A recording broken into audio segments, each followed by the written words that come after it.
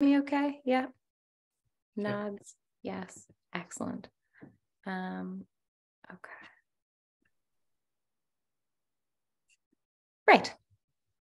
Okay. Well, I will go ahead and uh, just dive in if that's all right with all of you. So, thank you all so much for taking time out of your day to be here with us today. I'm really delighted to welcome you to the third annual Photography Ethics Symposium. My name is Savannah Dodd, and I'm the founder and director of the Photography Ethics Center. So, the Photography Ethics Center is a social enterprise organization dedicated to promoting ethical literacy across the photography industry. We do this by offering a really wide range of educational opportunities in photography ethics, including workshops, online courses, multimedia content, and events like this one today. Um, this year, we have been very uh, pleased to be working together with Red Eye, the Photography Network, to organize and deliver this event. So Rebecca is here from Red Eye. So I was thinking I'll hand it over to you now, Rebecca, if you want to say a couple of words. Yeah, thank you so much. Um, Red Eye is a non-profit organization based in Manchester. We run events and support the photographic community um, nationally and internationally. Um, so thank you. Yeah, and I'm Rebecca, the program and events coordinator. That's great. Thanks so much, Rebecca. Um, we've been really grateful to have Red Eye as a partner for this symposium. So thanks so much for all the help in getting us getting us here today. The aim of these symposia events is to promote conversation and critical thought about ethics in photography. And the aim this year is documenting and exhibiting vulnerability. So we're going to be discussing um, the ethical implications of documenting vulnerability in others, of photographing our own vulnerabilities, of exhibiting such photographs with care. So we will explore how, how, how can we exhibit um, vulnerability in ourselves as well. So when we make mistakes and our ethics are questioned, that can feel like a very personal and uncomfortable sort of personal affront. So I'm wondering, you know, what happens if instead of responding with defensiveness, what happens if we respond from a place of openness to being wrong and to learning something new? So, how could such moments inspire our own development as photographers and foster productive conversations about photography ethics and promote positive change across the industry? In my interview with Crystal Ding on the Photo Ethics podcast, Crystal said, For some reason, we view being wrong or being shown up to be wrong as a really negative thing. But actually, being wrong about something just means that there's something you didn't know. And that's really exciting. So, my hope for us today is that we can all approach these sessions with the same kind of excitement and openness. We're very lucky to have three fantastic speakers join us today. We have Raphaela Rosella, Justin Carey, and Sophie Harris Taylor. Now, I'm going to introduce each of them before they speak, but first, I'd like to just run through uh, the schedule of events today so you know what to expect. So our event today is going to start with each panelist giving a 20 minute introduction to their work as it relates really to the theme of vulnerability as well. Then our panelists are going to have a conversation about vulnerability in their practice, and that's going to be prompted by questions from me and from all of you. So please, at any point during the session, please feel free to submit your questions using the Q&A feature or the chat function. For the speakers' presentations and the roundtable discussion, we're going to ask you if you could please keep your microphone muted. And you're welcome to have your video on or off as you please, um, but please just take note that the session is being recorded. After the roundtable, we're going to have a five minute comfort break. So please take this opportunity to grab a glass of water or a cup of tea so that you can come back refreshed for the participatory discussion on vulnerability. So this is going to be an open space session that's going to be led by Rebecca from Red Eye. So she'll introduce that session um, to us a little bit later. The open space session will not be recorded. So that'll, you know, be a, just an open space for, for all of you to, to have a discussion on these themes. The open space session will end at 2.45 p.m. GMT, marking the end of the formal program for today's symposium. However, I know that many of you have also signed up for project ethics reviews and these are going to take place between 3 p.m. and 5 p.m. GMT. So if you've signed up for a review, you should have been allocated a time slot. But if you have any questions at all about this, you can message Rebecca either via email or direct message in the Zoom chat here. Right, I think that's all. So without further ado, I would like to introduce our first speaker, Raphaela Rosella. Um, so Raphaela, if you wanna start pulling up your slides and I will introduce you. So Raphaela Rosie Rosella is an Australian artist of Italian immigrant and Anglo-Celtic convict settler descent who rides and resides in Meanjin or Brisbane. Ra- Raphaela's practice draws from her lived experience of being raised in an over-policed, low socioeconomic community in New South Wales, Australia. Working at the intersections of socially engaged art and long-form documentary practice, Raphaela has spent over 15 years co-creating photo-based projects alongside her friends, family members, and extended kin. Their co-created archive has been exhibited at art exhibitions including Photo Biennale Photo K in France, Zagreb Mu Museum of Contemporary Art for Organ Vida International Photography Festival in Croatia, and the Center for Contemporary Photography in Australia. Thanks very much for joining us today, Raphaela. Thanks for having me. Um, yeah, I guess I'll just get straight into it. Um, apologies in advance. Um, I'll probably stick to reading so I stay on time. Um, but before I begin, um, I want to acknowledge uh, the Yagara and Turrbal people of Meanjin, whose lands I'm very grateful to live. Um, I want to extend my gratitude to elders past, present, and emerging, and any First Nations people listening in today. Um, I'd also like to express my deepest gratitude to the co-creators, uh, supervisors, advisors, um, and families who I work alongside and pay my respects to the Widjabul people of the Bundjalung Nation where I grew up and the Gomeroi people of the Gamilaroi Nation where I often work. Um, sovereignty has never been ceded, um, always was, always will be Aboriginal land. Um, so yeah.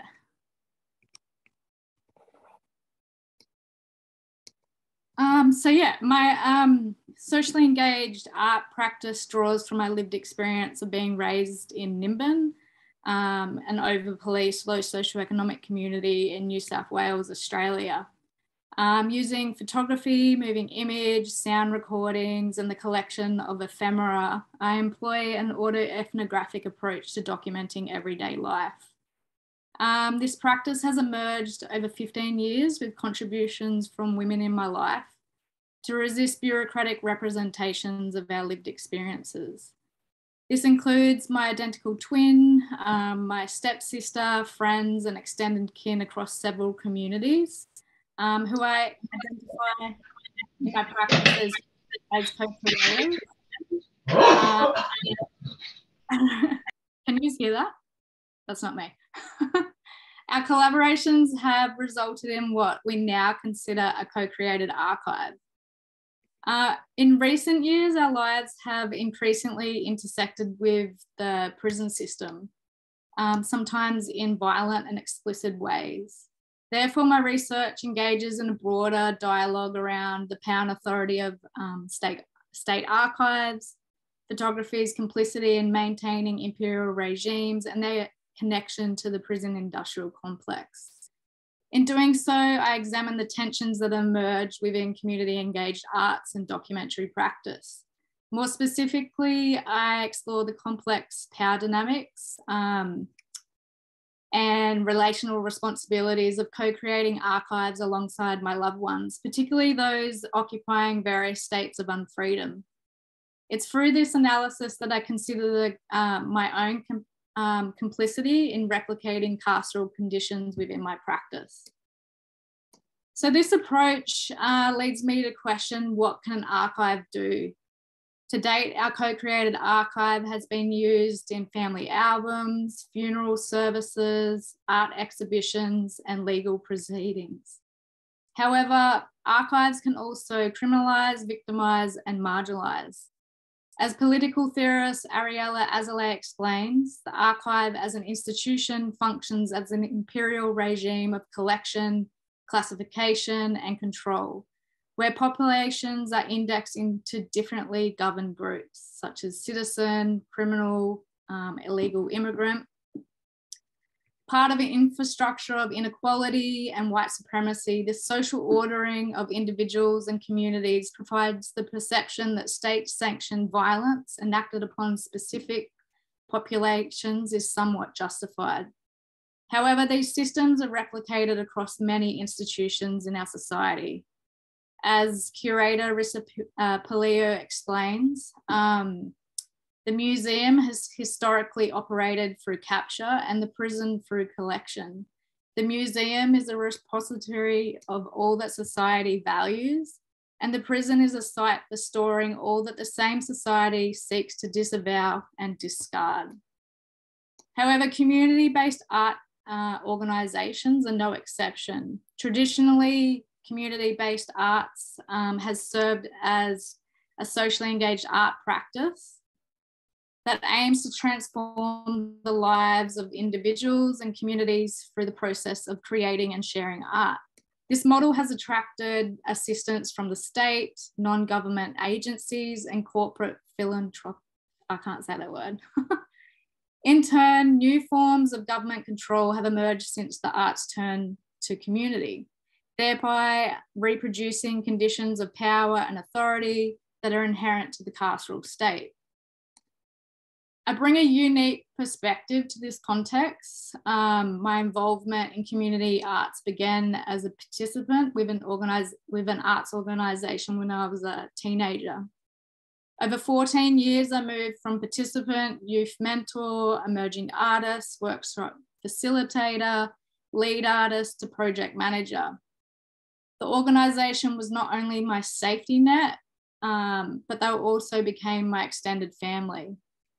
The intimacy of such support, however, led to a complex power dynamic. As a result, the ethical terms um, and the ethical concerns and uh, preferred terms that I raised concerning the use of my story and co-created works were often dismissed. Despite this, uh, my photography skills, co-created works, and the success story of my transformation from being a so called at risk, disadvantaged, and vulnerable young person to becoming an internationally award winning photographer was utilized in all aspects of the organization's um, media platforms, funding acquittals, annual reports, and grant applications. Despite being one of the organization's highest qualified arts workers uh, with a bachelor's degree, first class honors, and a diploma in community work. It still took eight years to be paid a professional art rate, artist rate. This experience highlights the ways in which participants can be exploited through the guise of, of empowerment. This often leads um, to control remaining with the um, artist or institution facilitating the project, enacting the same archival regimes embedded within the carceral state. So who benefits from collaborative artistic exchanges when the commissioning organisation, artists or acquired institutions remain with, uh, re remain with uh, control over the resulting archive? As several of my loved ones became routinely criminalised and incarcerated in recent years, our intimate approach to co-creation became heavily restricted. In response, we developed creative strategies of resistance to maintain relationships of love and care and to visualize the intimate dimensions of our, of our lives as we navigated carceral bureaucracies and surveillance. From six minute monitored prison phone calls to handwritten letters that circulated between us, we, get, we began to collect evidence beyond the bureaucratic narratives that otherwise represent this experience. Since our exchanges often occur under various states of unfreedom, carceral regulations have restricted my ability to provide several co-creators with ongoing consultation during periods of their captivity. This makes it impossible to renegotiate informed consent. However, Nicole Fleetwood highlights that concepts of consent and negotiation are fraught terms.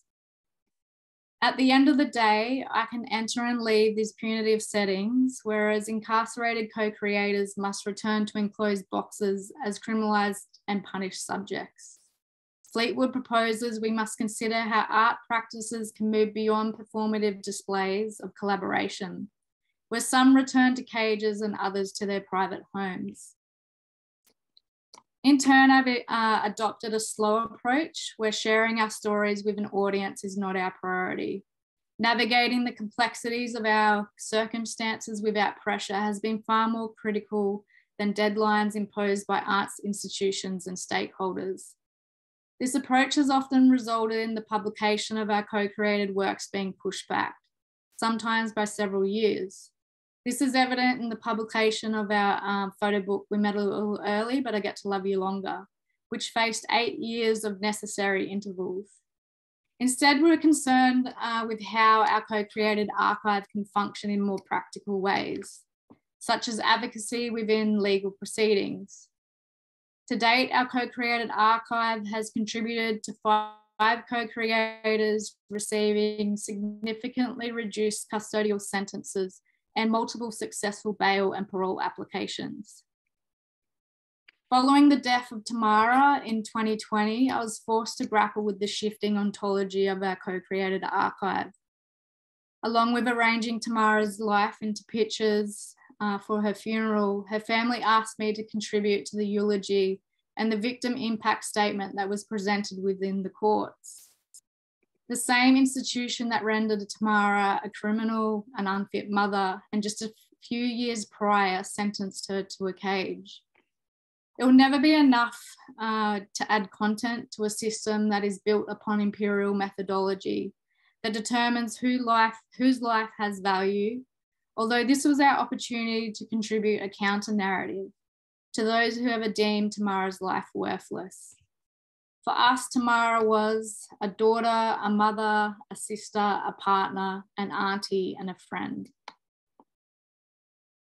Taking uh, a closer look at how arts institutions administer contracts has prompted me to examine how artists can disrupt existing hierarchies of power and control. The copyright of a photograph often remains with the photographer, while the organisation facilitating the project retains non-exclusive rights to reproduce the work. Photographed individuals, however, are left with no legal rights to their representation are rarely recognised for their contribution to the photographic exchange. Some institutions, however, rarely provide contracts. This was my experience uh, when co-creating Home Truths. Home Truths was made with assistance from the arts organisation that supported us during our ad adolescence and adult years. The project aimed uh, to extend our uh, long form photo based practice from moving image. Early on, I realised that the project aims were not being met. The organisation's agenda and expected outcomes had shifted from what we had originally negotiated. This resulted in an additional short film referred to as the secondary project. In the absence of a contract, there was no transparency.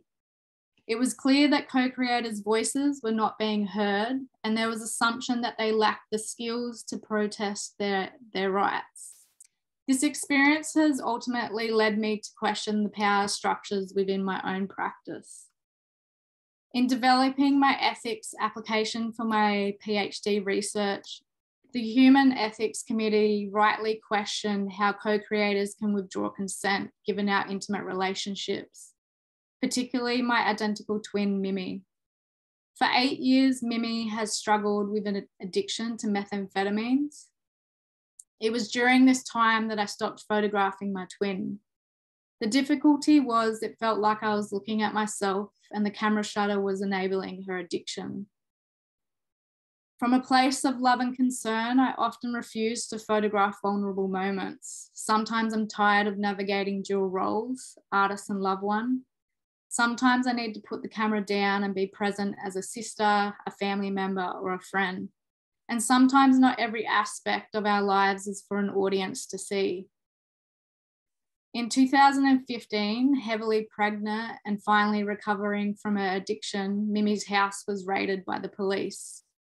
The charges against Mimi carried a minimum prison sentence of 10 years to life. 16 months later, just days prior to her sentencing, the charges were dropped due to a technicality in paperwork. Instead of celebrating Mimi's freedom, our family was left dealing with the relapse of her addiction which was caused by the anxiety of such a uh, of a looming prison sentence.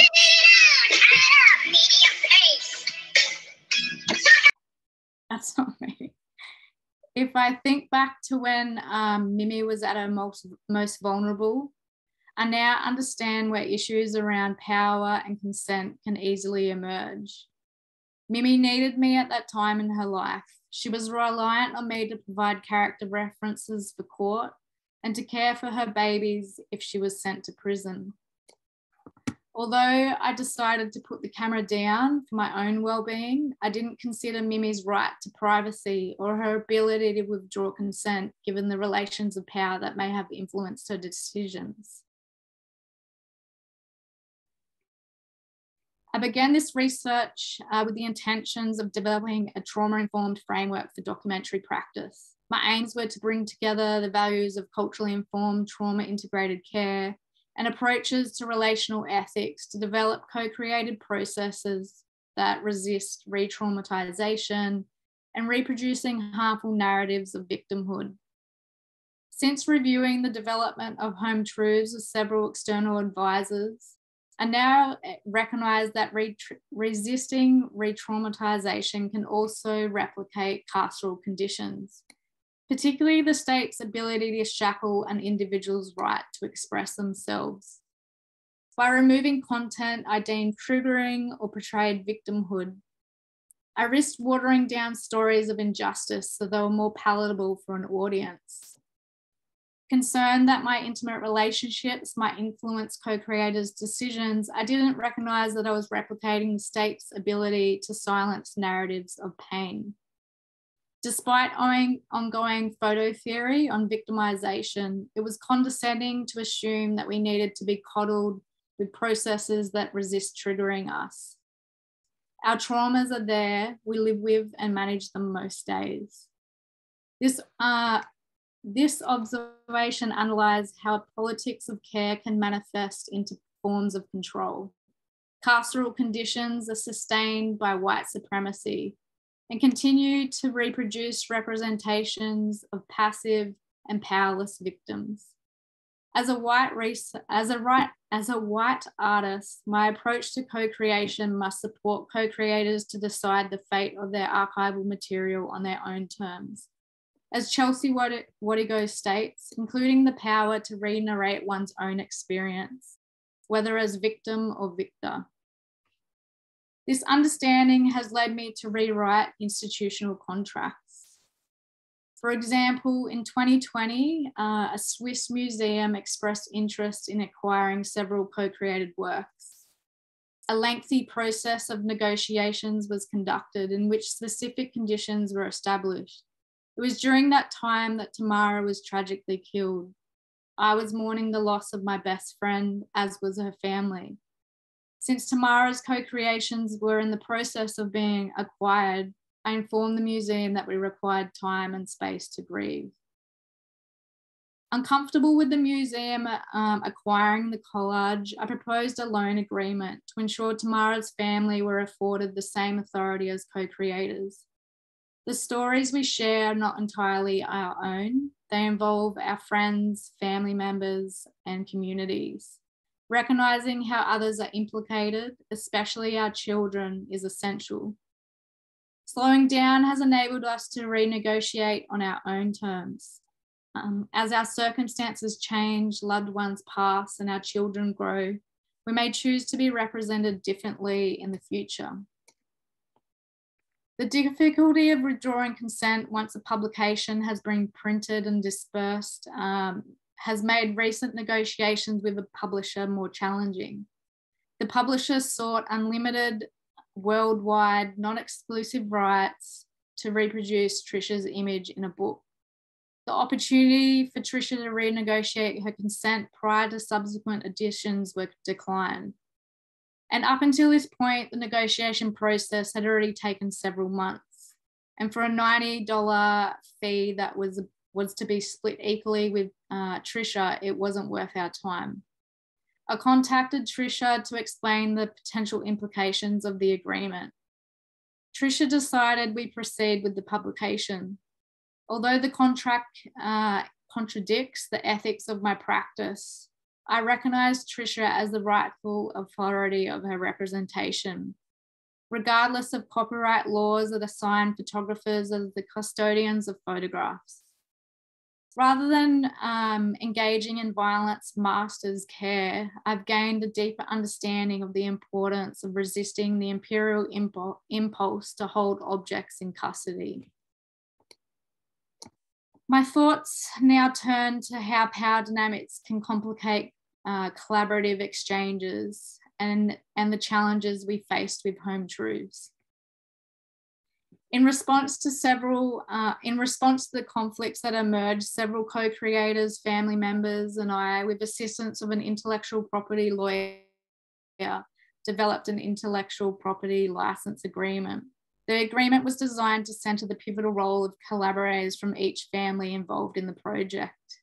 We achieved this by embedding terms and conditions expressed by the families.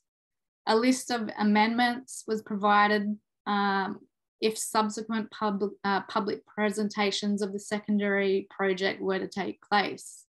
The terms also stipulate that all interviews, written material, and proceeds from the secondary project must benefit key collaborators. To respect Indigenous cultural protocols, it is crucial uh, to communicate and negotiate openly. Despite this, Indigenous cultural and intellectual property rights are not uh, uh, recognised under Australian intellectual property laws. To be legally enforceable, Terri uh, Janke recommends embedding protocols within the contract's design. All stakeholders must now comply with Screen Australia's Pathways and Protocols document. Prior to subsequent screenings, informed consent must be sought and approved by key collaborators, as well as elders, relevant community members, and cultural advisors. Furthermore, all participants have the option uh, to withdraw consent. Although this may limit future uses of the work, the agreement provides uh, community with control, choice, and autonomy over their representations. More recent negotiations with the Institute of Modern Art regarding our forthcoming exhibition have led to curators recognising the collective nature of our work. The IMA will now provide equal artist fees for co-creators and have also um, agreed to allocate 3% of the total exhibition budget towards paying the rent. Paying the rent is a reparations initiative that recognises that sovereignty has never been ceded in this country by making this small gesture, we acknowledge the, the exhibition's presence on stolen land, the museum's role in perpetuating colonialism and its connection to the carceral state. This leads me to consider how contracts can be used to enable the relational nature of our collaborations. Rather than a static and legally binding contract, how can we formulate relational agreements that outline that outline practical arrangements and individual terms, but also acknowledge that our circumstances change, as do our relationships. How can these agreements allow for greater um, transparency, accountability, and autonomy? And how can these agreements truly uh, resist carceral logic when these structures continue to be maintained within the art sector? In a world conditioned by imperial power, Azoulay calls for us to strike.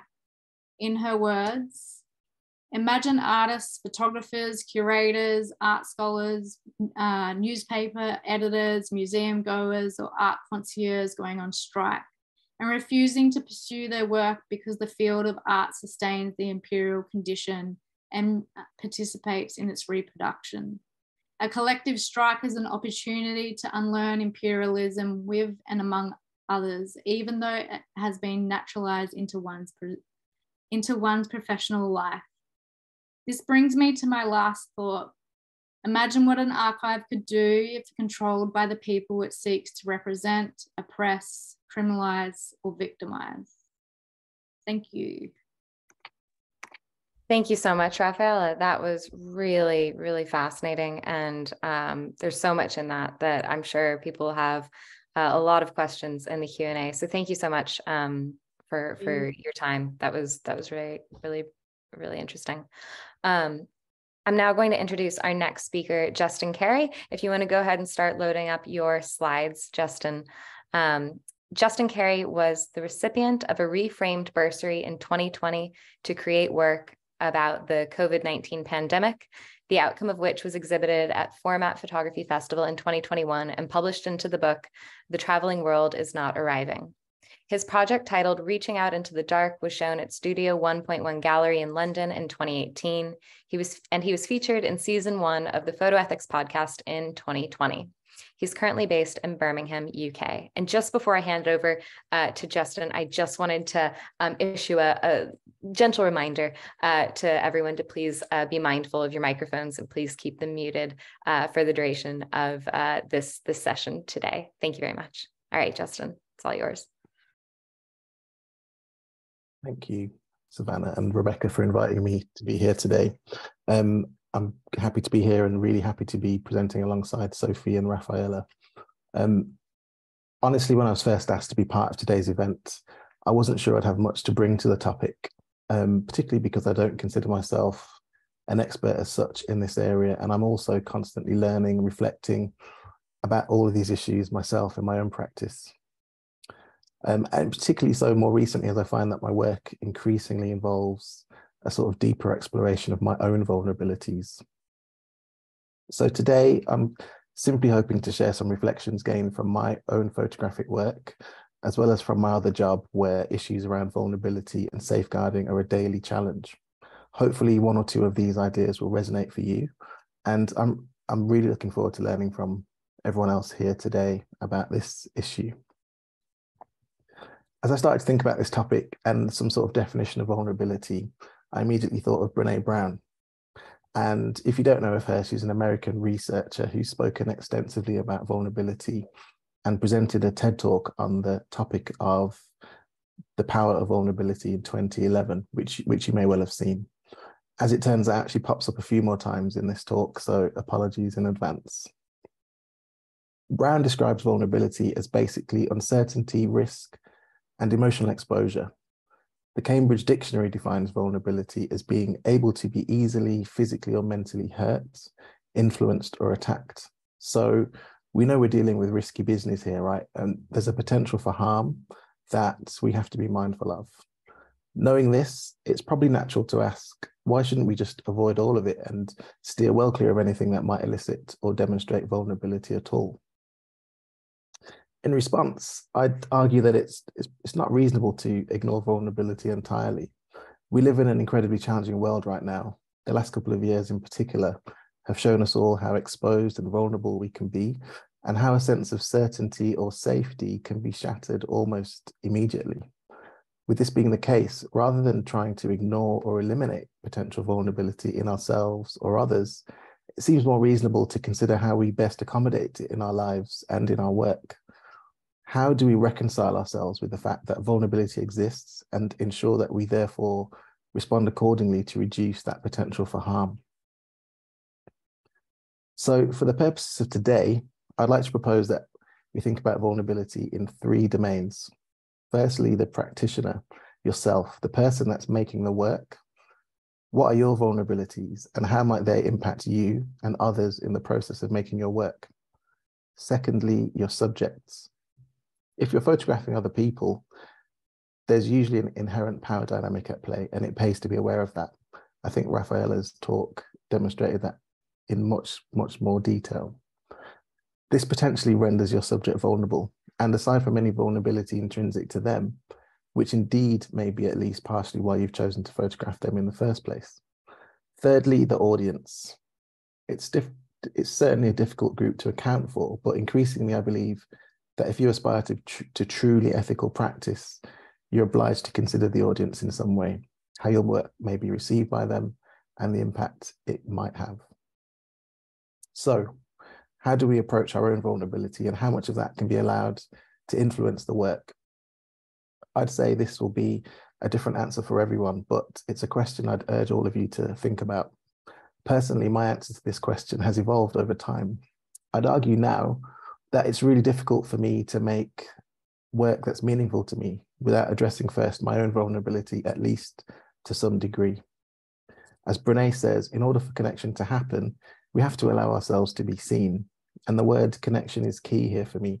To make good work, I believe you have to connect first with your own vision, your motivations, your inspiration. You have to understand what it is you're trying to say and why why you're why why it's so important for you to say that. My feeling is that to establish a true connection with your audience, you're likely to have to display a degree of vulnerability. Inviting the viewer to see you or an aspect of your or someone else's existence opens the way for them to consider that they're not alone and that there's space for their particular experience too, and that we're all traveling on this journey of humanity together. So, when working with people, being comfortable in your own vulnerability changes the balance of power between yourself and the subject, tilting it back towards the subject somewhat, and likely fostering the conditions for a more balanced, equitable, and productive interaction. I'd argue this makes for stronger and more enjoyable work. Learning to accept my own vulnerability came through the process of trying to make work about loneliness. I was focused on trying to elicit accounts from people who'd experienced isolation or loneliness and was gradually able to get people to open up to me about some of the things that they'd been through and how their experiences had affected them. As I made progress with this work, gathering images, written testimonies, music, and other things, I realized that I was missing something. I had all this material, but there was a lack of coherence. I couldn't fit the pieces together in a sense that made made the work make sense of what I was really trying to say. I'd gotten sidetracked by the responses of the participants in the project and my own reluctance to truthfully examine why I was making this work. At the time, I was living alone in London and had been living alone in various places in the world for many years. I'd rarely truly felt lonely during that period, but there was clearly a link between my own lived experience and the work I'd chosen to make at that time. I'd started out almost with this delusion that I was approaching the issue as simply a sort of interested, neutral observer. And it was only when I acknowledged my close personal connection to what I was making and sought to honestly understand where the impulse was coming from and why I'd been detached from it in the first place that I was able to bring the work together. I was vulnerable, but I'd been trying to make this work without acknowledging that or depicting it in the work in any way, and this was ultimately untenable. By accepting my own stake in the issue and weaving my own experiences in with those of my collaborators, I was able to make more meaningful work, and that opened the dialogue with others about their experiences of solitude and loneliness. It's been remarkable actually how people continue to encounter the work and share reflections with me about what they've been through as a result. And so I couldn't agree more with this quote um, from Raphael Haig, Hagster. Um, I truly do believe that accepting vulnerability is a strength. I also believe that it's very difficult to accept vulnerability in others, to create space for it and to hold it with the grace or respect that's needed to be able to document it if you're unwilling to acknowledge your own. Thinking about our subjects then, it's important to be aware of the various ways that they might be vulnerable, both intrinsically and as a result of being photographed. These synonyms for the word vulnerable conjure up for me the wide range of possible ways in which our subjects may be at risk of harm in the process of us depicting them in our work. The history of photography and me visual media in general is awash with examples of practitioners who've done a less than superb job of considering and mitigating the vulnerability of their subjects and the harm that their work could cause. Um, I think Raphaela referred to the sort of imperialism of photography, and I'd entirely agree with that. People such as Alice Seeley Harris in the early 1900s, for example, created images that had, on the face of it, essentially noble intentions, but these pictures can be considered to be highly problematic now, and at the very least, serve to illustrate the difficult line between exposing important issues and the exploitation of incredibly vulnerable people. as well as the critical need to be aware of the power dynamic in play when you wield the camera. There's greater understanding of the harm that these practices have caused to affected people and communities now than there has been in the past. And organizations such as the Photography Ethics Centre, of course, have responded to try and raise awareness and change practice around these issues. It's worth stating that none of this is straightforward. The ethics of working with people is not a fixed or static thing, but rather should be open to change that reflects increased awareness of the factors involved and the circumstances in which you're working every person will have a different approach and the circumstances in which you're working at the time could significantly affect the way you're able to interact with your subjects. Clearly also, um, after you've made the work, this isn't something that you can then forget about. It still requires ongoing consideration depending on what subsequently happens with the work that you've made. So it's okay to accept that sometimes these questions are not accompanied by easy answers and that attention may exist between the desire to tell a particular story and the needs, rights, or comforts of those involved in that story. The first step, though, I think, is acknowledging that this tension exists and rather than blindly pressing on without stopping to consider how the work might affect others. If we're able to confront our previous practice and ask whether old methods are still justifiable or whether in fact there's a better way to do things, we can always be developing into more thoughtful, open, collaborative, and less harmful practitioners. Practicing with empathy is a starting point here for me, seeking to understand what might be going on for your subject. Of course, the first thing to do to find that out is to ask them and see what comes up. In other cases, predictable issues arise that you should be mindful of and you should hopefully be able to anticipate. Discrepancies of social standing, language, wealth, or gender and many other things between the photographer and the subject all have the potential to increase the subject's feeling of vulnerability. I would urge you to think of it as your obligation to consider all of these factors for every person you photograph, as well as what you can do to reduce their vulnerability and mitigate harm. This requires a flexible approach for sure, and a willingness to accept that you may not always be the best person to make this particular work or take this particular shot or make the work in the way that you initially planned. It's also important to consider the autonomy and individuality of your subject and their ability to act within their own context, even if they may seem to be disadvantaged from your perspective. Again, the history of the visual arts is littered with examples of paternalistic depictions of supposedly disadvantaged people, where their complexity and humanity is reduced to a sort of one dimensional, dehumanizing portrayals that fail to afford them the same consideration that they would have been allowed if photographed in a different context. So we must avoid removing the subject's ability to decide, or at least influence how they are portrayed, due to the assumption that because they're vulnerable, we can decide what's best for them.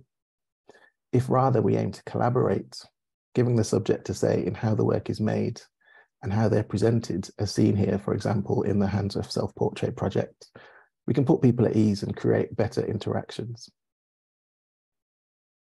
Again, it requires flexibility to accept that the more autonomy you give to the subject and the further from your own vision for the work you may end up, ceding some of this control will likely result in different work to what you envisaged, but quite possibly better work.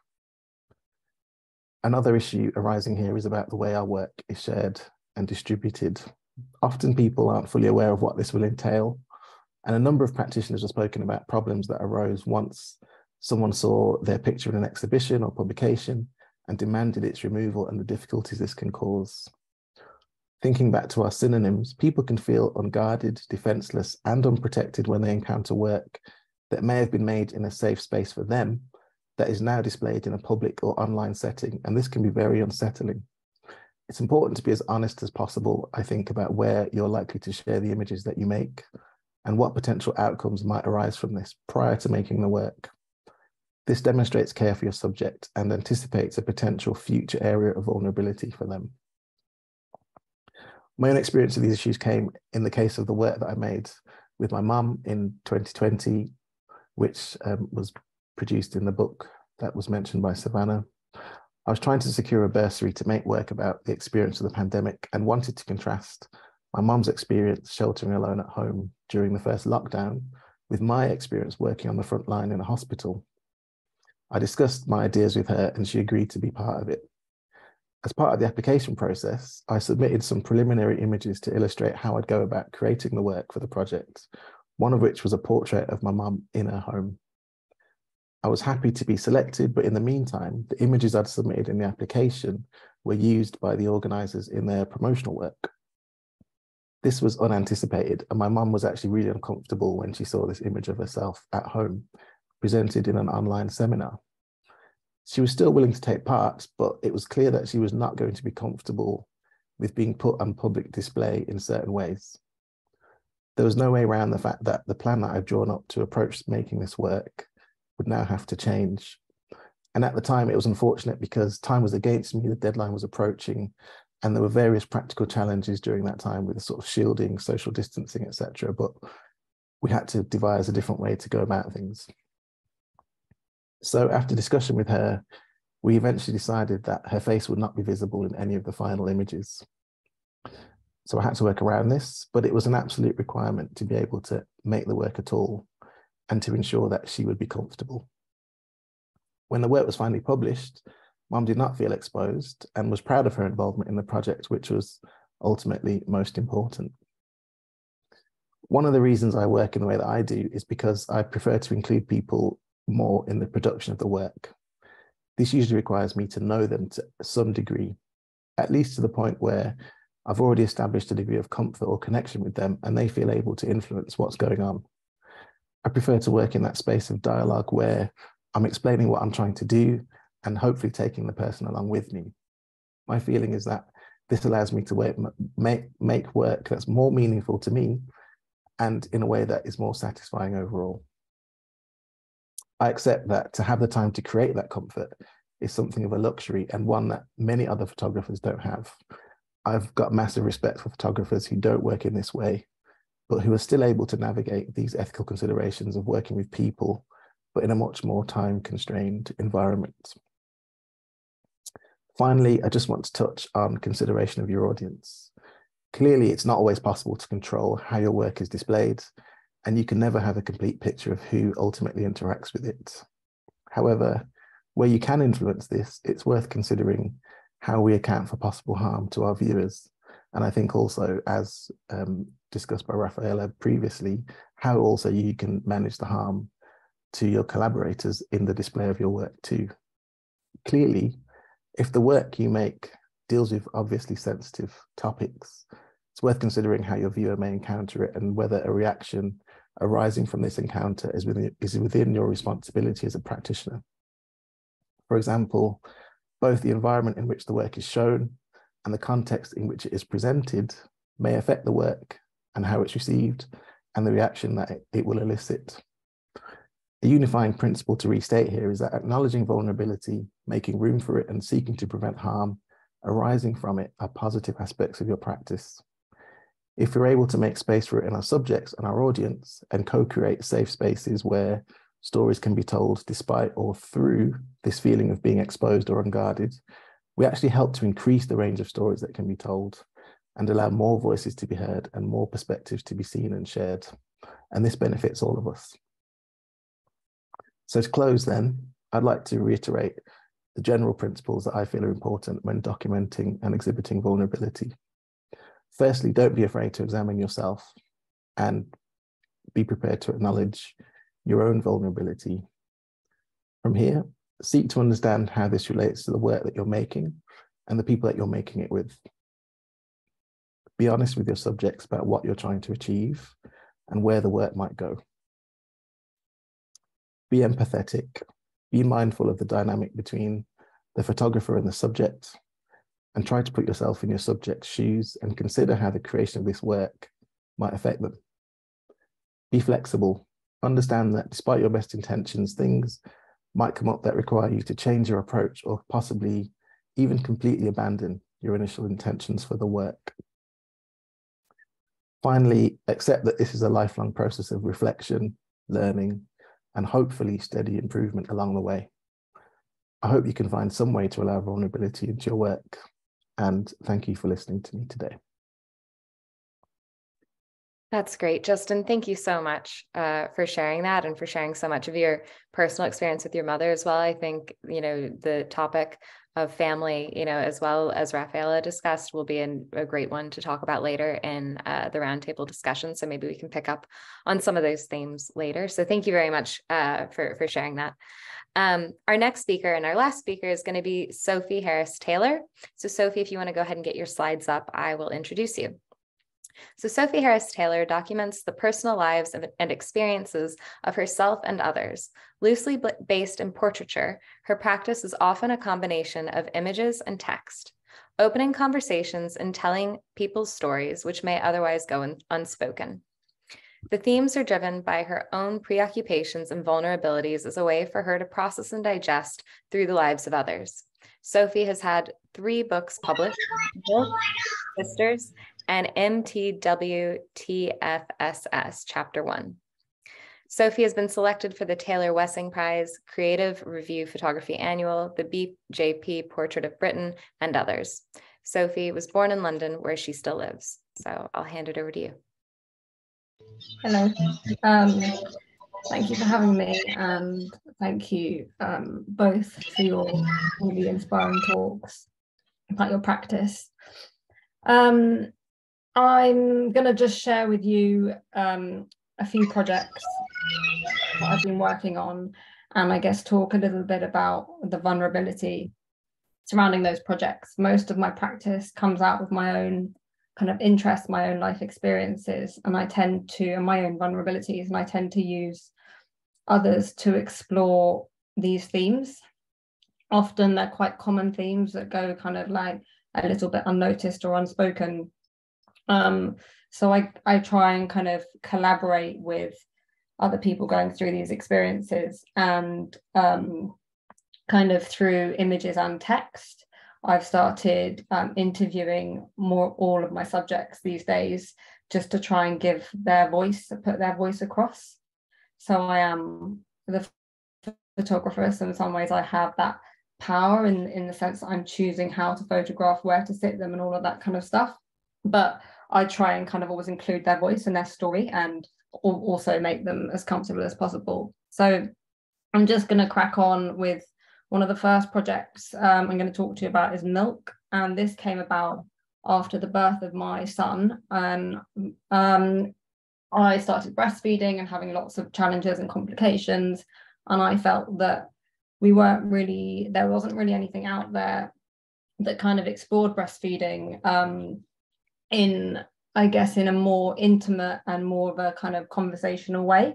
Even in like the antenatal classes, we were kind of given a knitted boob to look at, but not really shown how or where or all the kind of goings on about it. And as a new mum, you're quite um it's I guess it's like a bit of a 24-7 job. So I set out at the time, I had a very little one and I wanted to go and meet other mums that were breastfeeding and going through these experiences and i wanted to chat to them capture them in their own homes in their own environments and kind of kind of share their stories. So i'm going to flick through some of the images. Um i guess i'm going to share some of the text as well afterwards but i'm going to keep talking. Uh I've got my notes here so i'm not missing anything. Um a lot of the challenges around casting is always that I have to be really open and honest with my subjects and it was very clear from the get-go that I didn't want to capture these kind of nursing Madonna-like images of mum sitting reclining in chairs. I wanted to capture kind of um, expressing, pumping, babies crying, wriggling. Um, so it was, I needed to get people involved that were willing to be open and honest about their experiences, but also be in front of the camera. And having had work published before online and in exhibitions and in books i'm always really honest with the the subjects that this will make this may lead to this that and the other. I always making sure i get kind of model and minor release forms for this. Um, and a lot of the time i'll i'll only really work with people that are like super super comfortable. Often i'll have a lot of conversations with people and i think if they're kind of upping and erring and things then i won't I'll choose not to photograph them because I just think it's it's not going to go in anyone's favor. Um, so these are some of the images from that. I'm just trying to think what else uh, I want to say more. Um, I shoot with natural light, and this kind of often helps because a lot of the shoots, especially these ones with kind of babies, are um, you have to work quite quickly. Maybe not so much in the shop, but um, yeah. Um, trying to think what else I'm saying about this. I stylize the shoots to an extent um, they're not always sitting there with their tops off, but to kind of capture the realities of the breastfeeding, it's a bit clearer for them to be having their tops off. I'm going to read you a couple of quotes now from, I'll start with this one from Thea, just so you can kind of gain like an understanding of how the images sit alongside the text. So she said here, Nova had a tongue tie for the first eight weeks, which made breastfeeding very tedious for me. He'd feed for very long periods and never seemed satisfied afterwards. I was constantly questioning my ability and supply, as well as dealing with sore nipples, exhaustion, and all over discomfort. I built a negative relationship with the whole thing that is hard to break, even though things are better off with tongue tie surgery. And I've got another quote from Lizzie, which is a pumping one um, she says you can go to every lactation class, read every book, have super long teat shaped nipples, and it can still be bloody difficult. The feeling of failure that I couldn't get breastfeeding to work and having to exclusively pump for almost three months. I made myself sick with bladder infections, mastitis, and nipple thrush. I really imagined myself as some earth mother that would breastfeed her baby until six months and beyond, and I'll always feel guilty. I wasn't able to do that. And then I'll end on a slightly more positive quote from Shanine. I'm abundant, free flowing, all nourishing. And even when I don't feel like magic, I am. And breastfeeding has shown me that. So this project, it wasn't really trying to be for or against in any way. Um, and there, there's lots of people out there that can't breastfeed for whatever reason or don't want to. And I just wanted to explore the subject and wanted to collaborate and work with other mums that felt comfortable to talk about their experiences the work was shown um, uh, during, I think I made um, a small publication during one of the lockdowns or the start of the lockdown. And the um, I self-published a book and we did a few print runs and they sold out very quickly and it went all over the world. And I think people really resonated with the subject and the fact that people began to talk and share more openly about it. And that's kind of what my work's about really. It's telling people stories and trying to get subjects out there. Um, i am using people and photographing people in quite in some ways in quite a vulnerable way but i'll always be as kind of honest and um, collaborative as i can possibly be um, when i'm working with them. I had some experience very early on when I was uh, when I first started kind of photographing and then putting work out, sharing work. I was mainly photographing my friends in quite intimate and personal settings, and they were completely comfortable with being photographed like that. But when the work came to be out exhibited or put online, it was a different story. So I think I learned quite quickly, very early on, that you need to, you know, um, capturing someone is one thing, but then putting it out there is completely different. And you need to kind of almost be quite mindful of that when you're making any work. Um, so i have quite an open policy with friends that i capture now that anything i take i share with them first and then they'll either allow me or not allow me to use it. And with people that i don't know which is majority of people in the projects that i work with we it's a real conversation but most of the images they they don't necessarily approve any afterwards, but I'll always share them with them. And obviously, if there's any particular ones that they don't want me to use, I'm very comfortable and like we can have that conversation. Um, I'm going to move on to an ongoing project um, that explores um, people in recovery from eating disorders. And I've started it um, years ago, and I am still trying to continue it, but it's quite a slow one.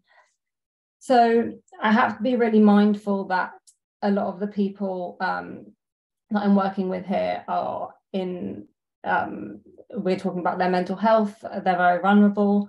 I have my own experience um, of being in recovery for uh, 10 to 20 years. So I have an understanding of the subject, which I think enables the people that I'm working with to kind of allow me in and to have a conversation and to share their story with me. The reason why I made started making the work was because I felt we a, a couple of things like we often in the media and um, th- think of an eating disorder and have an image in our heads um, which is not true. But we also often only hear about people on the brink of death or people that have completely recovered. And in actual fact, the majority of people with eating disorders sit somewhere in the middle and they're kind of at some point in their recovery. But what does that really mean? So I just wanted to explore this. So this is um, Katie, who I met, a portrait of her. And this is her, I put the quote here, but I'll read it out. And I think this kind of, um, I'll just start with this quote. Some days I wake up and I look in the mirror and I just wish I could claw it all off. I wish I could get a giant Dyson vacuum and just suck it out, especially in the evenings if I've managed to eat relatively well in the day. My body image is horrendous. Having a shower in the evening, I find the most disgusting, disgusting thing, and I feel like fat's everywhere. And I know it's not really related to weight. I pretend it's related to weight, and I pretend that I would feel better about my body if I were at a lower weight. But I know realistically, all I'm doing is trying to numb the inside thing by treating it externally, which doesn't make much sense. And this is a um, girl called Holly, and she talks about her pregnancy. So she says, um, carrying a baby was really painful. With Dylan, my eldest, two of my ribs cracked because my body was not equipped. Because I developed anorexia so young, my pelvis never widened properly. So I had really complex pregnancies, were very hard, very hard, and it was difficult knowing no matter what I did, I couldn't make them not high risk. The damage was done years before. But being pregnant did want me did make me want to get better because I didn't want to be unwell and I didn't want to be a bad mum. And I worried what impact my eating disorder was having my children. I had this intense guilt that what I was doing wasn't enough, but it's so hard to recover while still pregnant because you have zero control over what's happening to your body. It's doing the thing you're most scared of, expanding way beyond your control. And I'm going to flick through a few more. And I'm going to, this is Emma, who I actually met in, she was in hospital. She was on a cystic fibrosis ward. Um, in London and I went and visited her as an inpatient. And she talks a bit about what led her to this point um, at the time. And she says, My journey was disorder with disordered eating began when I was 14. And there are a few triggers for that. I've got cystic fibrosis, and that was the thing that I was rebelling against. And I didn't like not having any control over my body. And B, I was also sexually assaulted whilst I was 14. And I remember after that happening being really sick, and it made me feel clean. So for me, it became about not being and feeling dirty. But unfortunately, I did have three miscarriages resulting from the IVF. The one, the last one being not this April, but the April before, and the first one was on my birthday. That's how much my body hates me. That was fairly traumatic for both me and my partner. And I think once we had that last miscarriage, I kind of gave my, myself permission to start all that behavior again.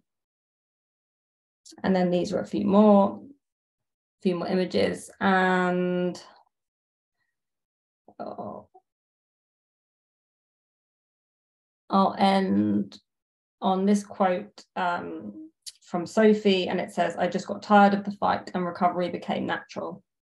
And so these images are, I'm, I'm working with the subject, going to their homes, taking um, not very many portraits. Um, I've been working on film, so just like a few snaps because a lot of the people feel quite uncomfortable in themselves anyway, and being in front of the camera isn't their like it's just not their thing. But they know it's a photo, it's a photographic project, and I want an image to kind of go with and tell their story. Um, I think the images for me are quite reflective. I don't want to do anything um, that they're quite kind of just still portraits. Um, nothing too, I don't really know what the word I'm trying to look for, but nothing too overly posed or kind of um, they're not in a way they're not exciting images they're just quite still um, but i think the texts say a lot. Um, so i'm going to continue working with this. I need to consider a lot more about a lot of diversity and casting again is just really really challenging. Um, because i think that people have to be completely comfortable with um, kind of talking about their mental health and mental illness and being on camera and being open about that. So that's a really um, kind of may, maybe one of my slightly kind of harder subjects that I've been working on. And I'm going to finish on um, talking about a project that I did in 2017 and no 2018 and it's called the last months and this was um, about my grandma my grandma Rosie, who was 105. And sorry, that's my loud dog coming down the stairs. Anyone can hear that thumping. Um, so I made this work during the last month of my grandmother's life. She was 105, and of course, I said when she reached 100, I wanted to make a project about her. She was a character full of life, Jewish, said what she thought without any filter, and offended everyone, and embarrassed my mother to death. I never did make this project and I never saw her as much as I should. So towards the end, I began to visit her more regularly and the conversations were really repetitive. She'd repeat the same questions within a few seconds, but she still had a glimmer of her character left.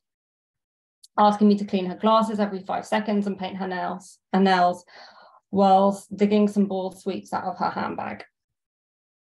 I began to bring my camera. She always thought it was funny. Why would I want to take a picture of her, let alone her bed sheets? Then she joked and said, Where's my modeling fee? She found humor in the fact that it was what I did for a living. She almost didn't believe it. But she loved looking at photos and looking at through family pictures. I always showed her what I was capturing, and she always just kind of just laughed and smirked. I did tell her I was making the project. Um, and I don't think she would have minded either way. She was always telling me what a good looking family we were. The project is only one month in her 105 years of life. She's a fraction of her size and a fraction of her character, but it's my way of holding on to the memory I have of her, a time we shared together. My regret will always be not visiting her more. I knew the last couple of pictures on the slide, which I'm about to show you here. Where are they? These ones. Um, I knew these pictures would be the last ones I'd take of her. The nurses had implied she was on her way out, and she was slower, frailer, and more tired that day. She died peacefully in her sleep. The work came out about pure came out of pure emotion, a way for me to process losing her. We weren't that close, but she was a, she was such a strong character that she was a big part of my upbringing. So I never really considered considered the kind of ethics around sharing these images um, only really now when I was asked to do this talk. Um, but she didn't sign a release form or anything like that.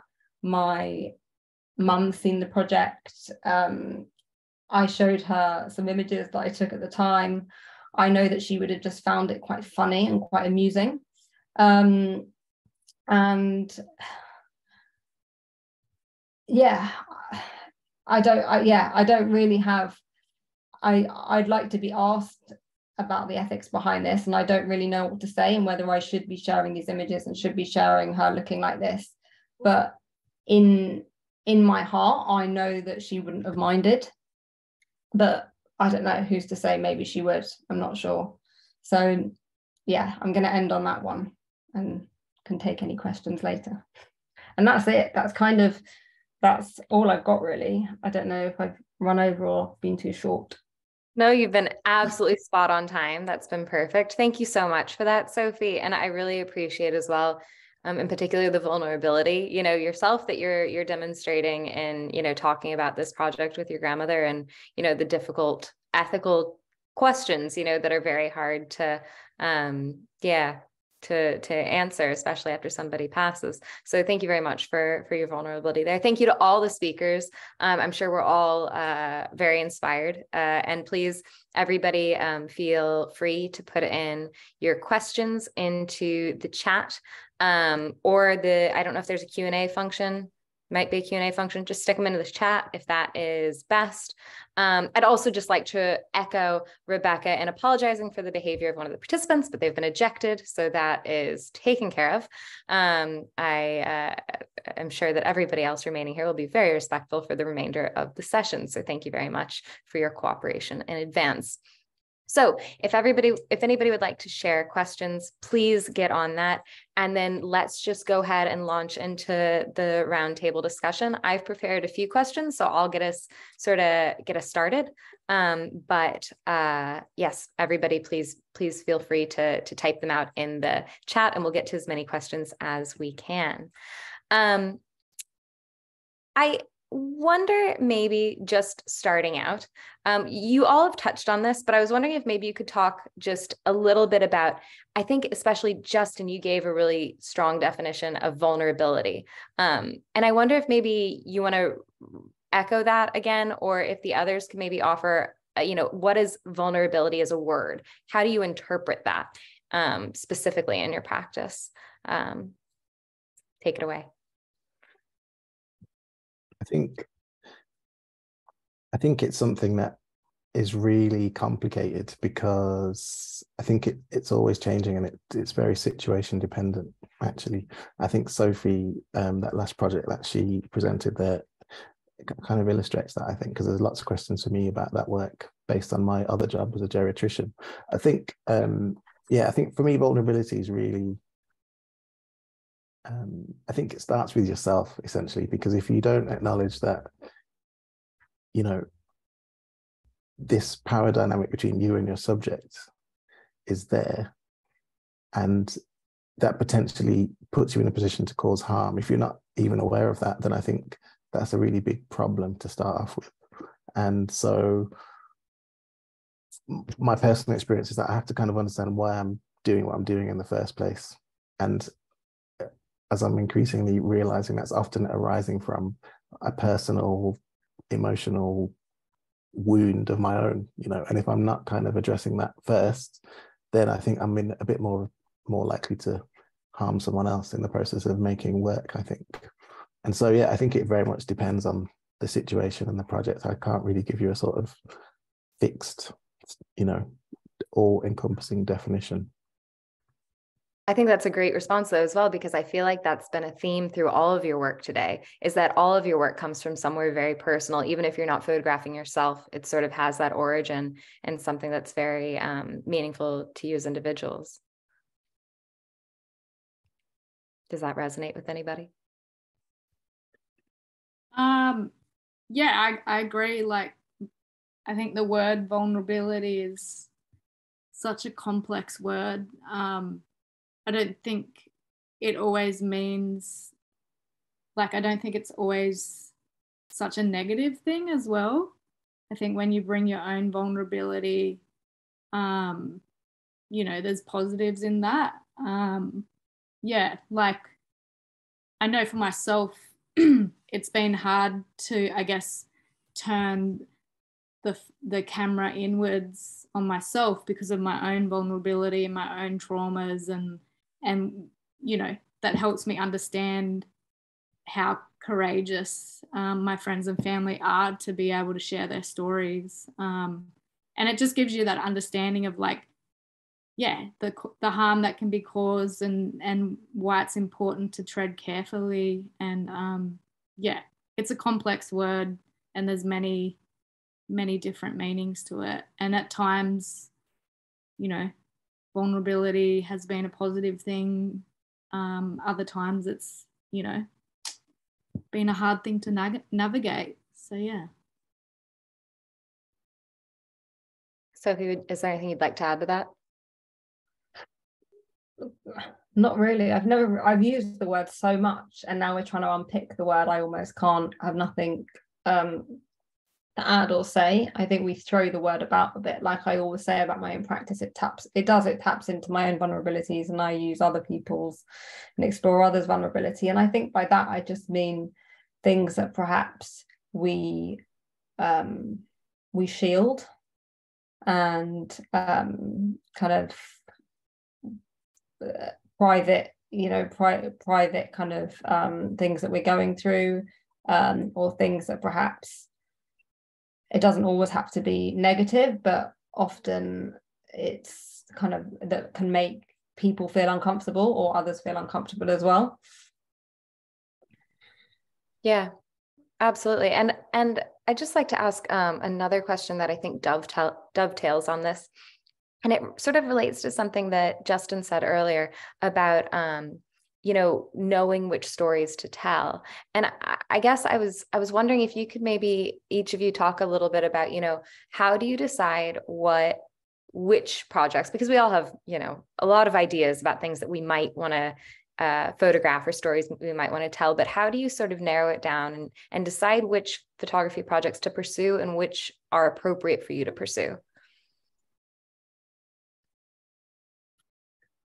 So for me, it's always, I'm always pursuing something that's going on in my own head, something that I'm experiencing. And I want to, I guess in some ways, it's kind of selfish. I want to kind of um, find other people I can relate to, learn a bit more about things that are preoccupying my own head. Um, and I kind of delve in and I don't really think, should I do this one or this one? I just kind of go with what it kind of comes quite organically in a way. Um, I think some just due to the nature of subjects being quite sensitive or casting being really tricky, I'll kind of put off or I'll kind of um, have to think a lot more about ways around around that. Mm-hmm. Anybody else want to jump in there? Um, yeah, I guess for me, obviously, I've been working with the same women in my life for 10 to 15 years. So um, I like when I first started um, the project, I was looking at young motherhood because um, my twin sister had a baby as a teenager, and my stepsister had five babies by 24. And I, I guess it was a path that I was expected to take.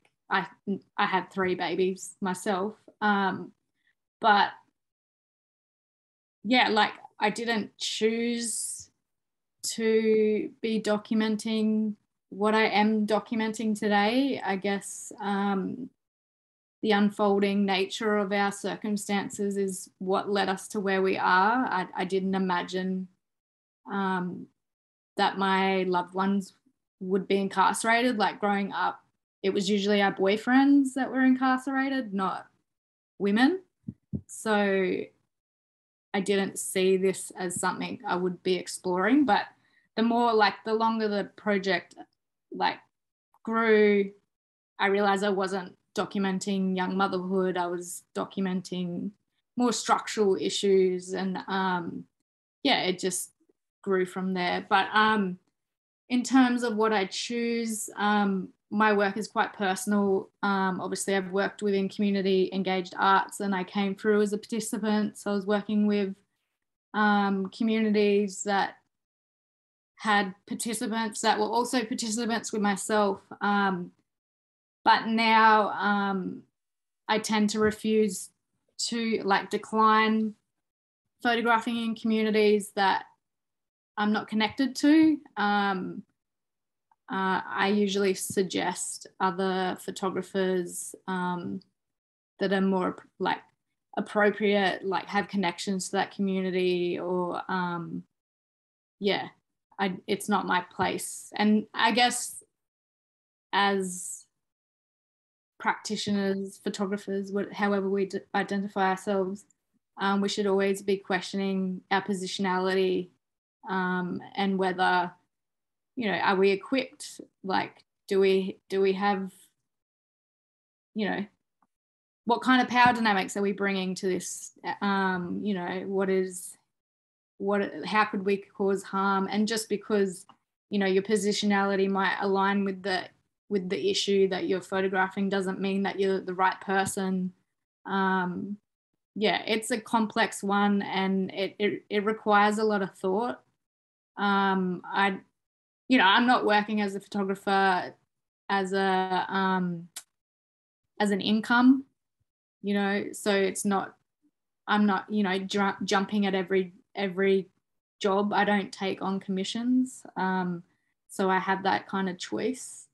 But um, yeah, I think it's our responsibility to really, um, I think, point these industry like editors and that, um, you know, it's our, we have the power to be like, hey, I'm not the right person to be photographing this story. Have you considered this photographer? Um, so yeah. Mm-hmm. Absolutely. Is does anybody uh, want to add anything to that before we go on to another question?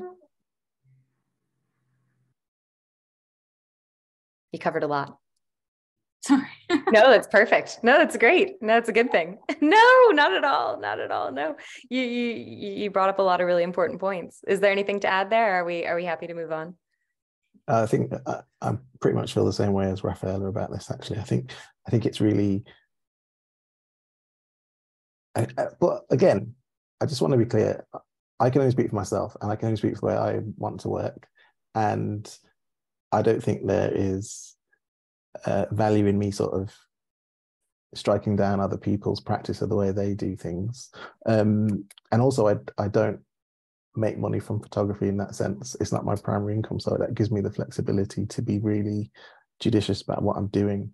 Um, and I actually think the work that I do now is more personal, partly because I feel increasingly that to make work with other people is so problematic anyway that I'd I'd rather avoid it most of the time. And and actually, um, because I kind of think the sort of gold standard of working with people is to essentially let them present themselves, and that you should really have as little kind of input in that as possible. And obviously, that's kind of at odds with you know contemporary photographic practice in the main and so it's difficult i think to to make work of other people without there just being so many different sorts of problems i think and so yeah i tend to stick to topics that basically involve me and revolve around me largely do you have anything to add to that sophie because I, I have sort of a related question that sort of comes to your work if i maybe I'll throw that in there now. No, it's all right. It's all right. Yeah. Um, because uh, Jesse was asking, how do you find the casting process for intimate pro- projects, and how do you develop an ethical approach to to do this process? Um, it, casting takes me a really long time. It's the hard. It's kind of the hardest thing, and I use. I actually use like my social media platforms to try and engage with people and talk to people, and sometimes you're talking to people for quite quite some time messaging back and forth and then sometimes it's very instantaneous and it's like yeah i want to do this. Um you with like the eating disorders project to uh, try to get the charities involved but the issue is that they'd only really give me people that were completely recovered and i wasn't really interested in talking to people that were completely recovered um because i feel like we've we hear a lot about those stories. Um so I had to do my own digging and things like that. I think a lot of people are using um, their own.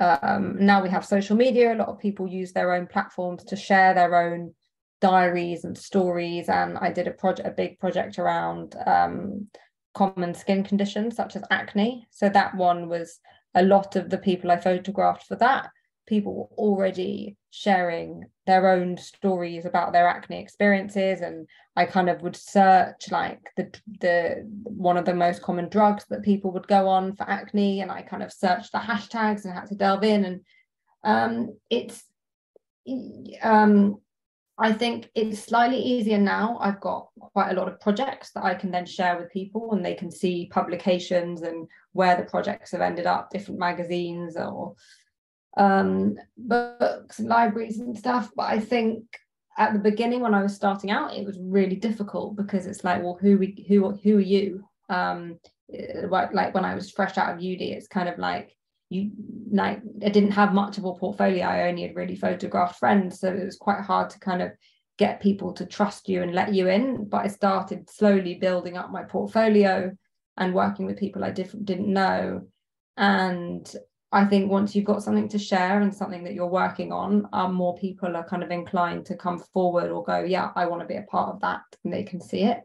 Um, with regard, like Justin, you were talking about, I was talking a bit about um, me also working commercially as a photographer. So separately from the projects I do, I do work in advertising and get commissioned to um, uh, do those kind of projects, which is great because it can pay my bills, but it doesn't satisfy me. Um, I guess my drive or my passion, my um, enough, um, which is why I create the personal projects. I do often get contacted to license images from my personal projects for articles and features and and that's when it becomes really tricky because that's when people are handing over money so i'll always if i am going to do any licensing i'll always make sure that there's a model release like a fee for a model but a lot of my projects um a lot of the time I won't be able to license the work because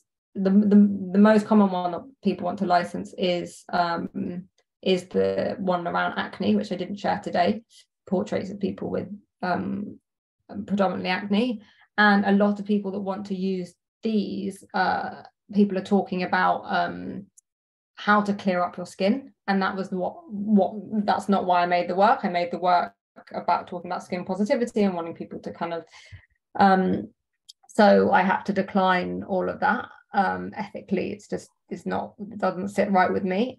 Um, so and if I am going to publish the work, which isn't isn't a feature about my work and it's to do with something completely different, then I'll always allow or get the subject involved to see if they're happy with that and always try and find a fee. So I think I don't know, I can't remember the question that you asked, but no, that's great. That that that's a that's a great response. Thank you so much. And we so we have a lot of questions coming in, which is fantastic. We'll try to get to as many of them as we can. Um, but we've got four questions here that all sort of have to do with consent in different ways. So um, Hillary was asking about uh, because she's working on a long-term project uh, on dementia. So, you know, thinking about informed consent with people who have dementia or Alzheimer's. Um, similarly, Francisco's asking, you know, about neurodegenerative um, diseases, uh, you know, and asking for consent um, from people who might have a dementia or Alzheimer's or from children and Danny is also asking about, you know, documenting people maybe with mental health conditions. Um, Danny's working on a project with someone with paranoid schizophrenia. Um, so, you know, thinking about how how you know to navigate consent with that. And finally, Alice was asking about um, consent in regards to the eating disorder project, um, and you know how how did you go about that process as well. So um, lots of uh, questions all sort of on that that theme of consent. And i think it'd be really interesting yeah to hear hear from all of you on that. And as well uh, justin if, if you want to bring in some of your uh, experience working in geriatrics i think that's obviously really relevant here as well. Um, so yeah who, who wants to who wants to start?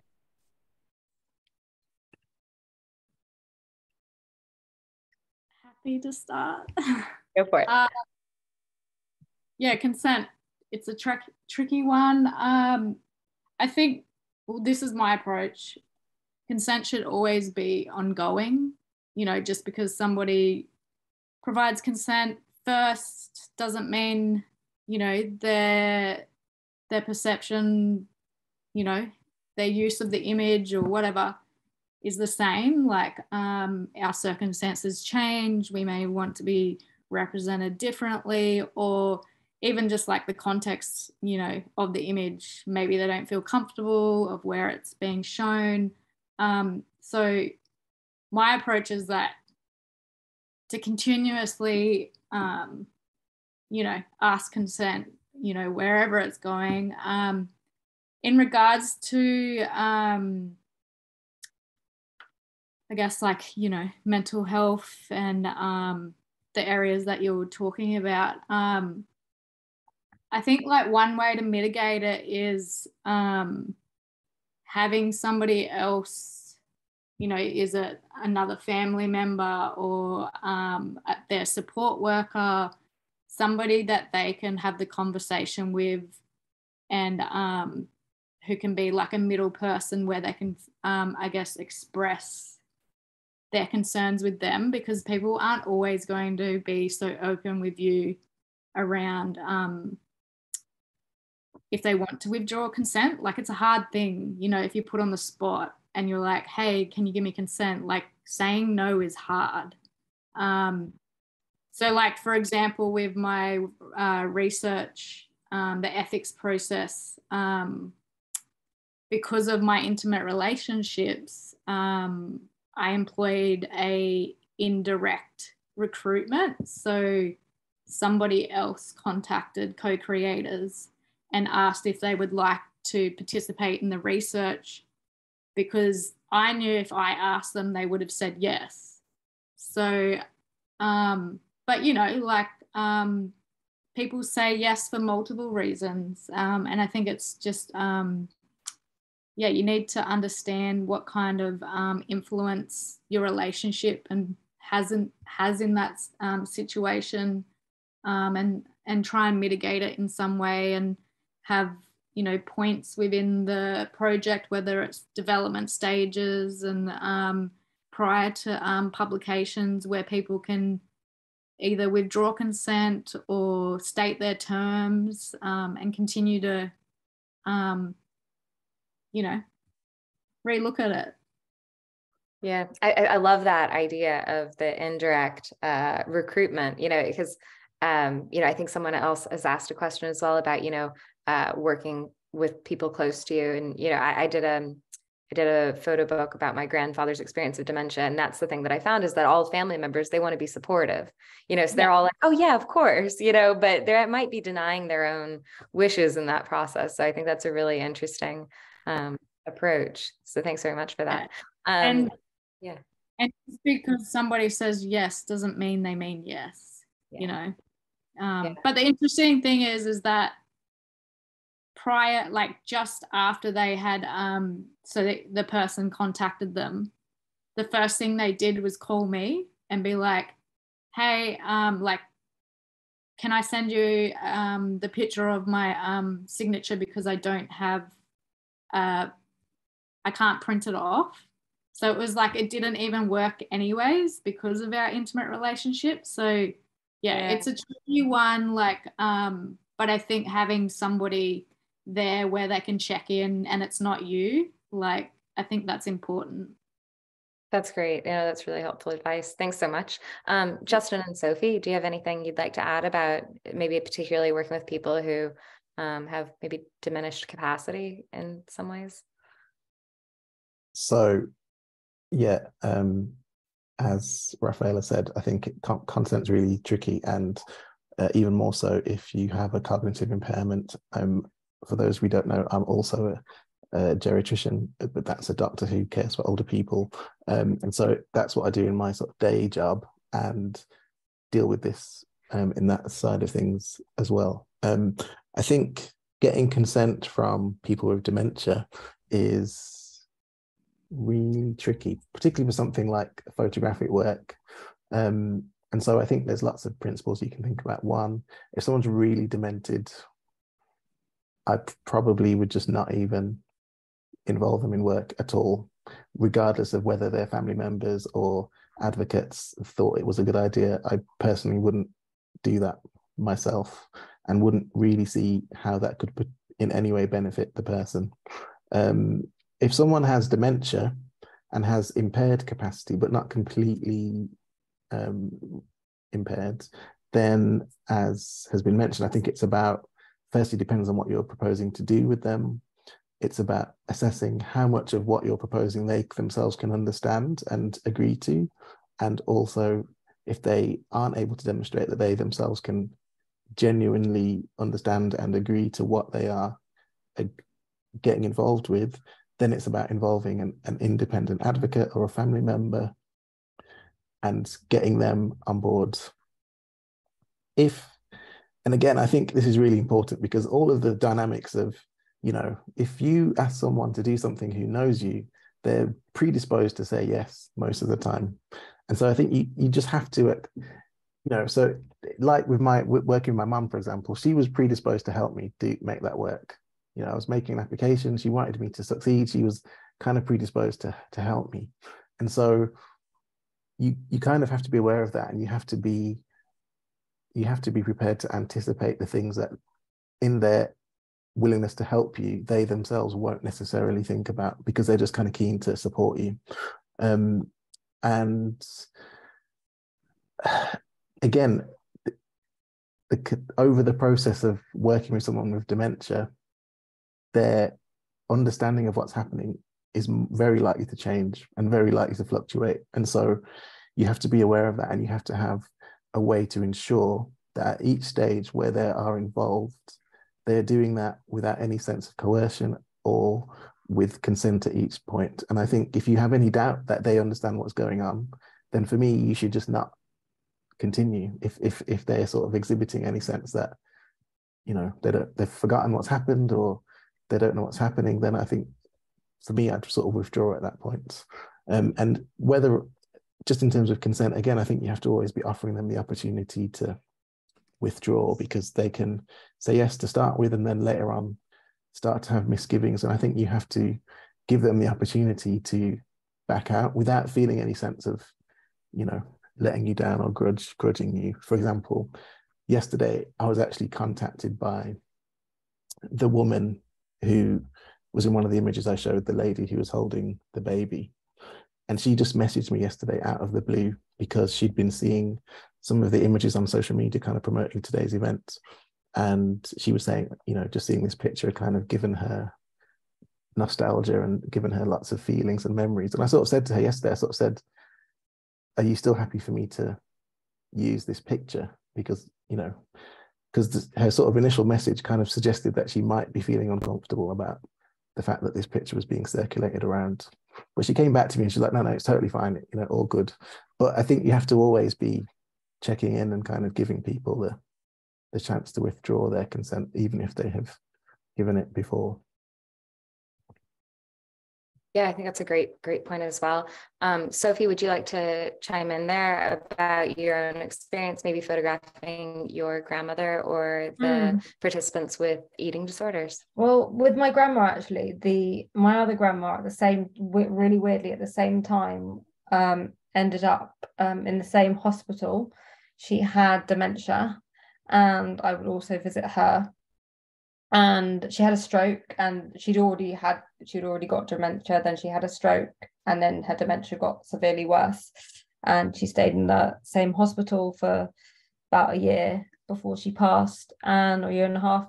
And i didn't photograph her on the basis that um, we didn't have that um, it just wasn't the same relationship anymore. And i knew um, she knew who i was but i knew that she she wouldn't give me consent and i actually didn't uh, like i wouldn't have felt comfortable photographing her either. Um, i did however make a project about losing her but i actually made a project in her home um, because her home was the one that all the family used to gather round into was then suddenly empty um, quite quickly. And I found it really weird that you'd go, we went round there partly because the family were then going to go on to sell her home to try and pay for her care in hospital. But like went round there and like her cardigan and things were still left very much like untouched as if you just and even my grandfather who'd passed away quite a few years before he, all his stuff was still there so i did make a project just photographing kind of the interiors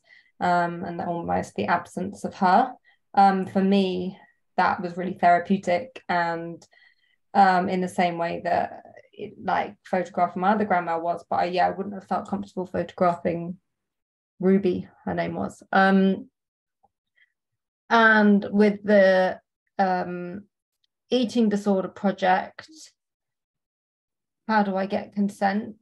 Um, or thinking about consent I guess. Uh, it's a really long like conversation that we have prior to um, us meeting and me working on the project with them, but also there, um, none of them have been minors, um, is the other thing. So I'm not kind of um, I've not been working with people where I've been then talk, having to talk to their parents. And apart from the um, lady who was actually in hospital for her cystic fibrosis at the time, none of them have been an inpatient So they've all been dealing with their recovery outside of hospital, um, whether they're in treatment or not. Um, so it's kind of, I guess I've I've just been I don't I don't really know. It's the first time I've really been asked about it. I've not really shared much of the work before. Um, they uh, in my understanding they have an idea of the project and where the project might be going. And when the project's kind of finally i guess published in some form um, prior to that i would always get back in touch to check in to see how they're doing. And we often check in anyway especially if the project's ever going to be published out there somewhere in a magazine. Um, because it's gone on for some time to see if people are still you know comfortable. Um that's yeah that's really all i can say on that. No that's super relevant to to the next question as well. And i and i really appreciate what you're saying as well about you know um there aren't that many opportunities where people ask questions about you know things like informed consent and stuff. And so i'm, I'm glad if that's you know also uh, something unique that people are getting from a symposium like this. I, I, I, think that's a great finding as well, you know, so I really appreciate you sharing that as well.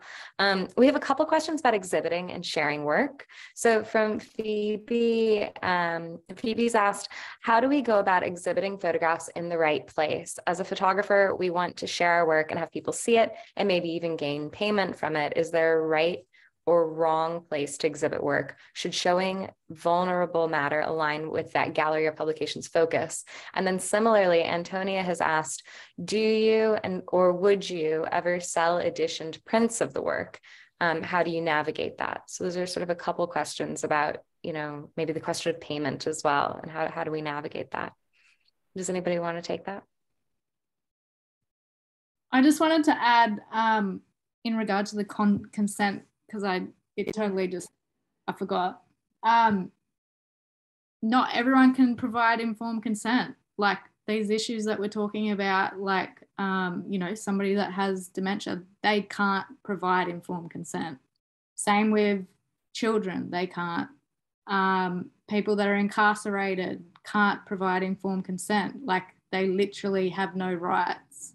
Um, they can't access the budget you know the the agreement um, for example you know somebody who is under the influence of drugs they can't they can't provide consent which is why there's always like uh, which for example why um, we met a little early but i get to love you longer took eight years to be published because it had to be paused like there was necessary intervals. I couldn't ask for consent during those times. Um, but yeah, what was the other question? It was around um, exhibiting. Um, yes, about selling editioned prints and, um, you know, knowing where to exhibit is the right place or the appropriate context for exhibiting.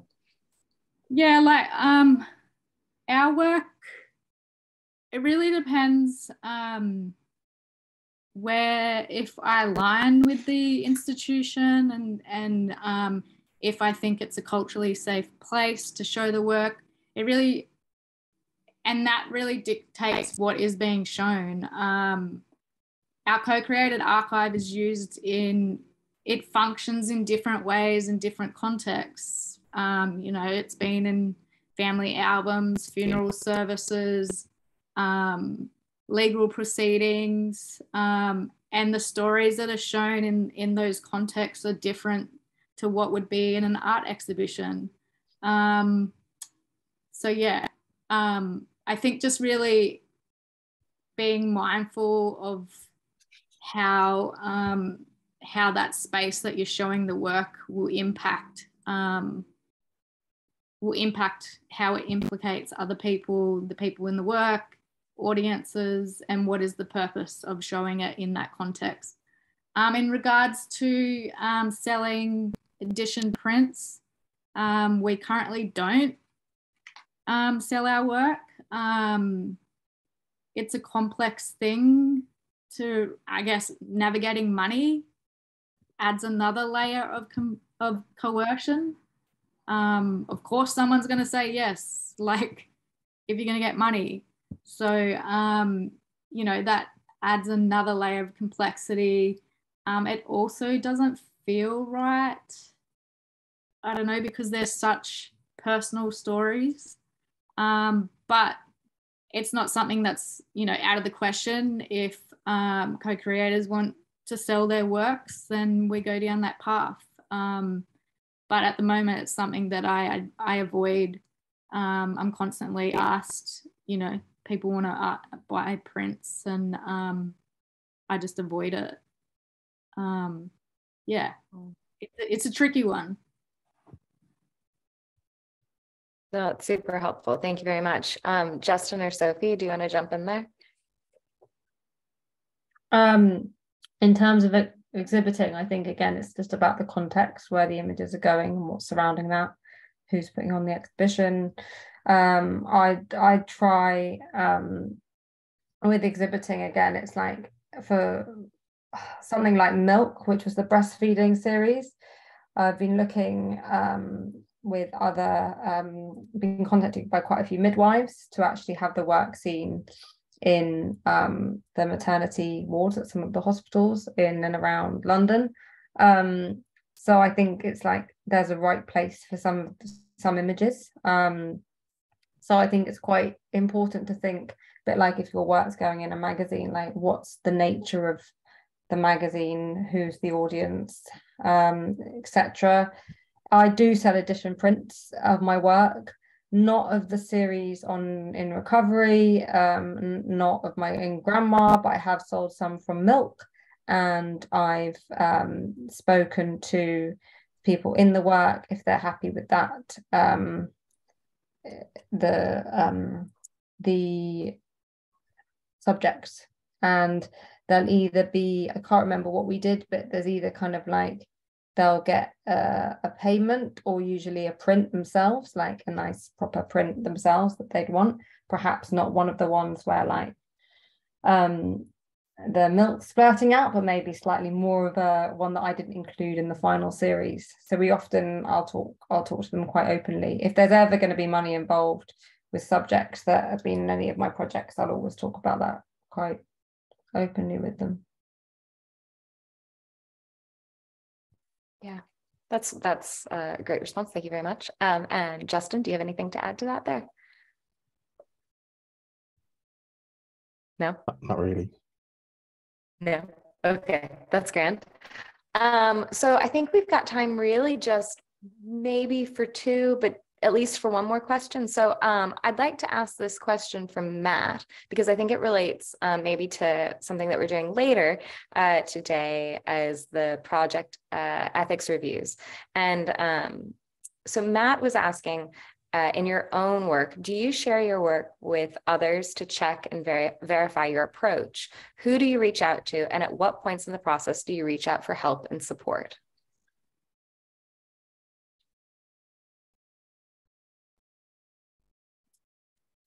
Do I go first? go for it. Yeah.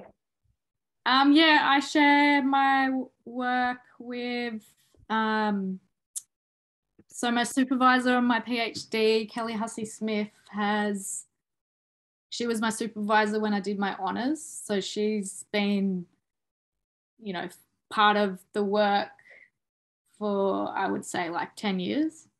Um, so um, she's you know in she's invaluable in like her insight because she understands the story she's met um, some of the co-creators um, so i feel she's definitely somebody that i go to when i'm um, you know conflicted or um, you know unsure because she's not somebody that um, steers away from those hard questions she like gives them to me straight. Um, so I find that really, you know, valuable. I don't want somebody that's like patting me on the back and saying, you're doing great. Um, but um, I also, when I started the PhD, um, I couldn't get all the, uh, I couldn't get specific supervisors um, because they weren't they weren't employed by the um, by the university that I was at. So I created um, my own external advisory group. Um, so I have advisors who um, have experience in culturally informed trauma integrated um, practice. Um, Debbie Kilroy from Sisters Inside, which is the prison advocacy organization. And so I share my work with them and not always like, I guess it's like questions where I don't feel like I'm knowledgeable about certain things. But I'm very selective with who I show work to because you're always going to get somebody, somebody's always going to have a different opinion. Um, but I, I make sure I share, share the work with people whose input I value and um, that I know will be straight out with me. So, and obviously I share with um, co-creators and family members, um, especially if I'm unsure about um, something that you know I'm trying to protect, and then um, you know I'm I'm becoming controlling about something. Um, so yeah, it's a tricky one, but definitely share work. Um, but I think creating, um, I don't know, I don't know what the word is. A group. I, I wouldn't advise to share your work with everybody because it's it just becomes too complex and um, yeah. Too many cooks in the kitchen. yeah, everyone's gonna, have, everyone's gonna have a different opinion and um, yeah, I don't know. yeah. Yeah, no, that's that's I, I think I really like that idea of of sort of an uh, pulling together um, a team that you you trust. I think that's that's great. Um, what about what about you, Sophie? What do you what do you do to? Um, I wish I um, could share my work more. If I was when I was studying, I was obviously able to share it with tutors I had, and nowadays I actually just share it. I work quite solitary, and then I share things that I'm working on with my partner um he's not he's a creative but not in this field and i'll share it with some close friends that again not they're not um working in the same field but they're all kind of um creative in their own right and it's mainly just to kind of bounce some especially initially at the beginning of the project or if i'm unsure i often want i want critical feedback um and then in terms of um, working on a kind of final edit of a, of a project is very tricky and i think it's really really difficult to sit and do on your own. So i'll try and get people involved in that. Um, but yeah i think i'll i'll look for sort of um, i think often i don't really i don't really plan much so i work quite organically so often i'm just sort of working away and then i then take time to kind of look at what i'm doing and often i'll just be like ugh what have I wasted my time on?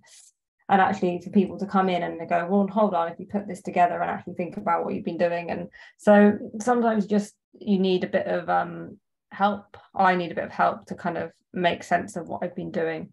Um, so I will use yeah close friends and my partner for that.